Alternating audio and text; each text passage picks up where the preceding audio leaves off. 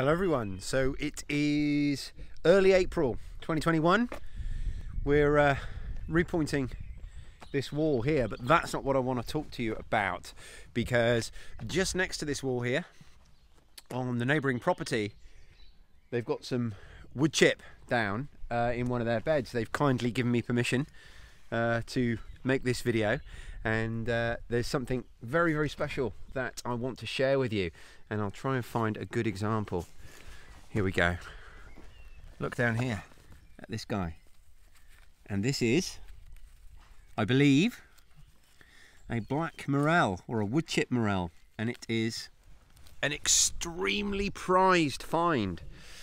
We've got a few of them here. Got some here.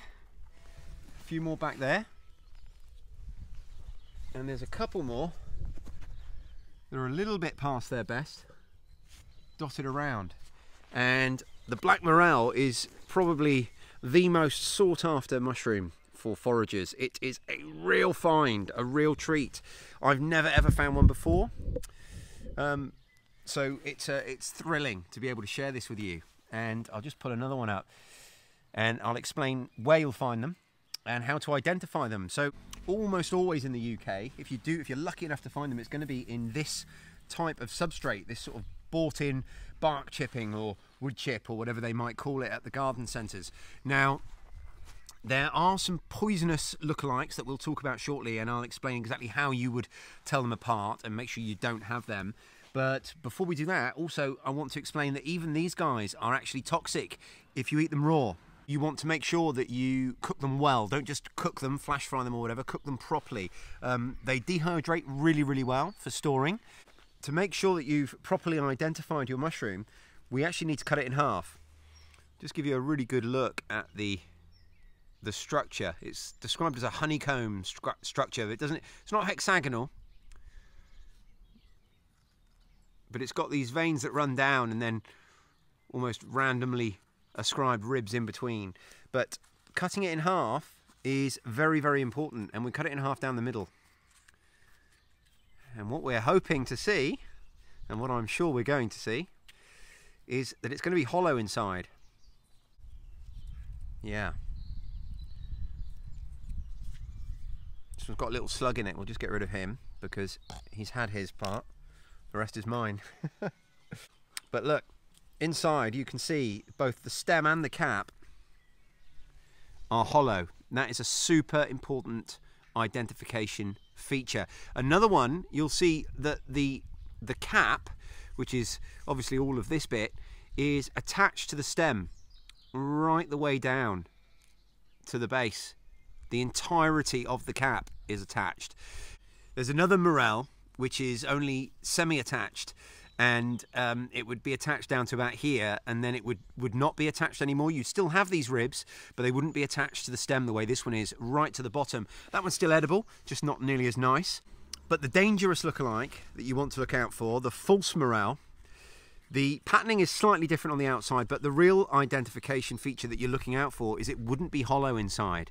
In here, it would have a kind of, I've heard it described as like a brainy type mesh inside. I've also described, heard it described as looking a bit like wool, but it wouldn't be hollow. This one is completely hollow inside, right up through the cap. That is the most important identification feature for these guys.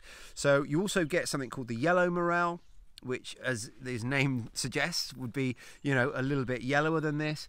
And um, I've never seen those, but this is my first time finding these guys, and I'm absolutely thrilled. Like I say, this is probably the most sought after forageable item any forager's ever realistically going to look for, apart from maybe truffles. But as I've said, you know, you'll find it in substrates like this. Now, I've spoke to the chap who lives here, obviously, and he's kindly given me permission to make this video and uh, also to harvest these, and I'm we're going to share them. This is this is the sort of habitat you want to be looking in.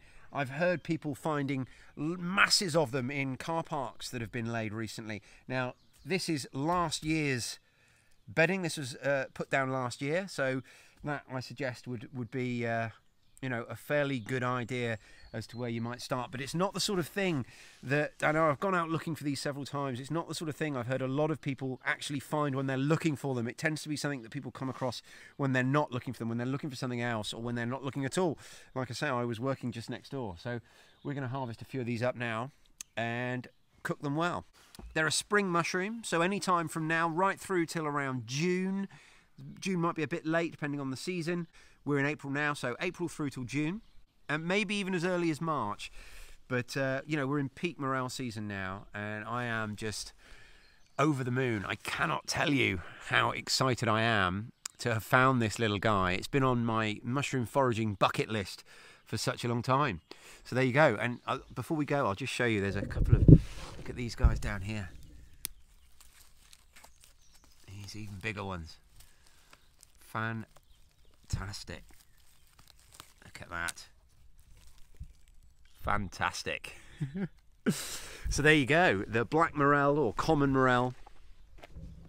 Uh, not to be confused with the false morel. The false morel is actually deadly poisonous. These guys are toxic if they're raw, so look after yourselves, do everything right, and uh, happy foraging. Thanks for watching. Make sure you're subscribed, press that like button, and I'll speak to you soon. Cheers.